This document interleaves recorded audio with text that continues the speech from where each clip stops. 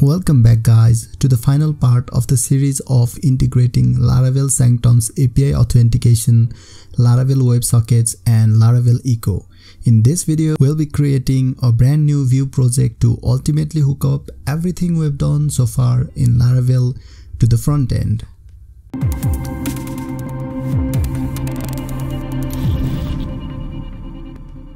If you haven't watched the previous two parts, I highly recommend you do so to have a basic understanding of what you're getting yourself into. We'll start by creating a brand new Vue project inside our project directory alongside of our Laravel project as Vue client.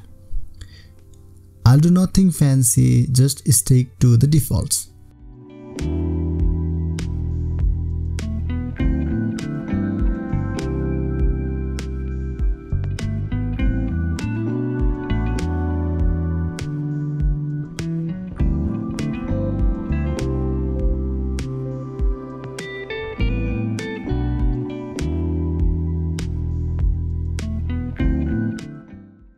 Cd into the Vue project to install Laravel Echo, Pusher.js and Axios package with npm. Once finished, I'll open the project in Sublime.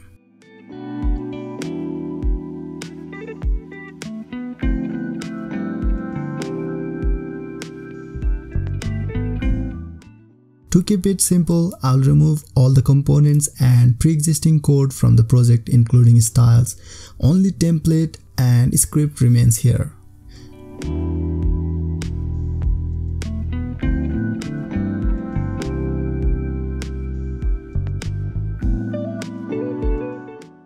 I'll quickly paste some imports into app.vue previously installed with npm altogether.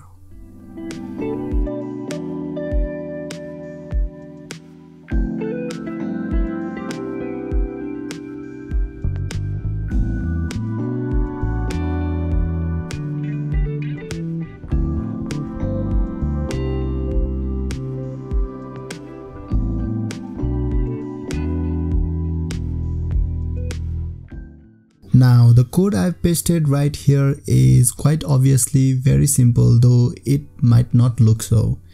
And again reminder, all of this code is available as a readme file in my github.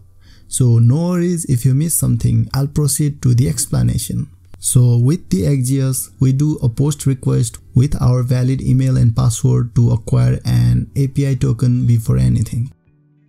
Now I expect a valid response into data which is the actual token and to see if the token is valid I'll get the user info by setting the authorization header of the request as a bearer token, nothing fancy.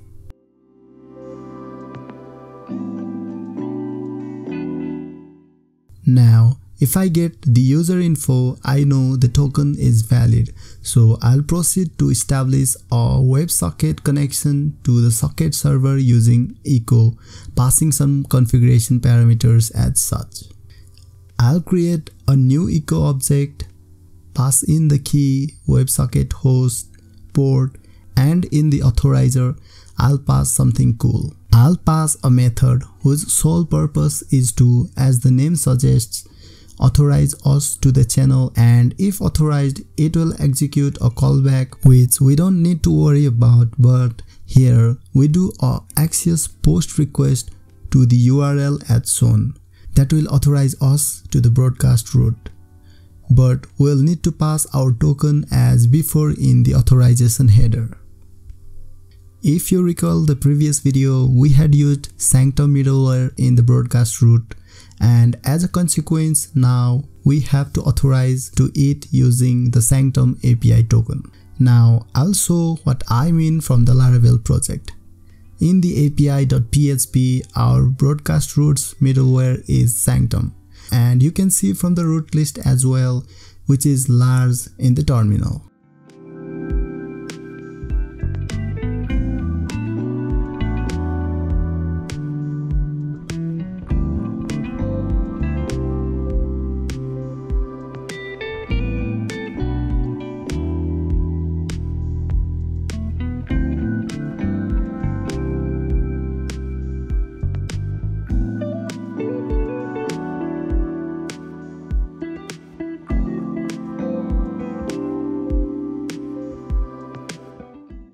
Finally, I'll listen to the private channel app.user.to for chat events and get the payload as a result promise.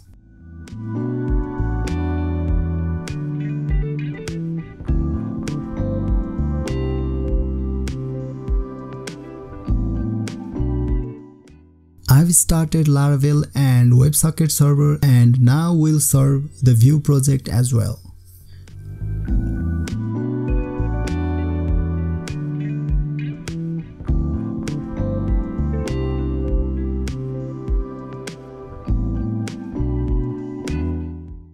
I'll quickly open localhost 8080 to see what's happening in the console as we fire some events from Laravel Tinker.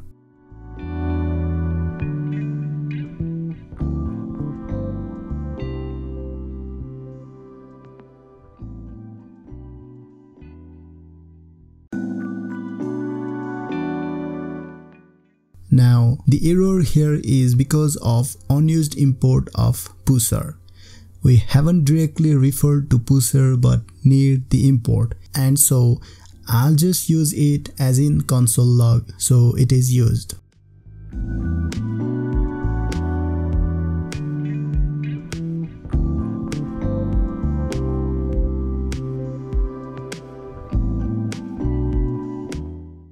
I have a Tinker session in the terminal tab that I can use to fire events using the event method and pass my chat event to broadcast at app.user.to and we'll see the events appearing in the socket server dashboard. Now going to localhost 8080 and quickly checking the console, we'll see a lot of things. Ignore the unrelated errors for instance. First object is our user's info which means the token is valid. Ignore the second one for now.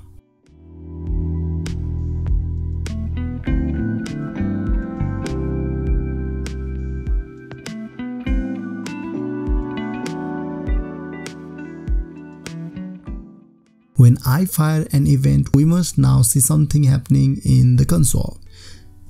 Now, I've set the payload to hello world, but use it accordingly. You can learn from the network tab to see the XHR requests and WebSockets at WS for this. The WebSocket tab has the details of the socket connection and when an event fires, I'll see something in the network tab.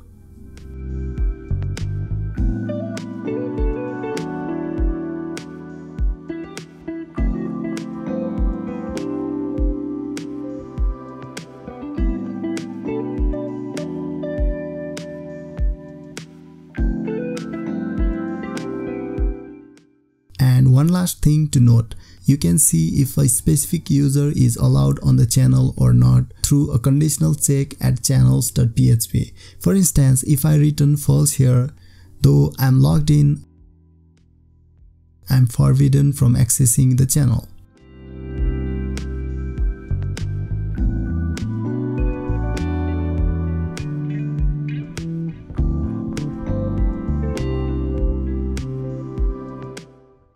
Hope you guys learned something new today and please subscribe to the channel and be notified when we release more content on tackling some rather interesting topics and challenges in Laravel. Thank you so much for watching this video till the end. I'll catch you guys in the next one.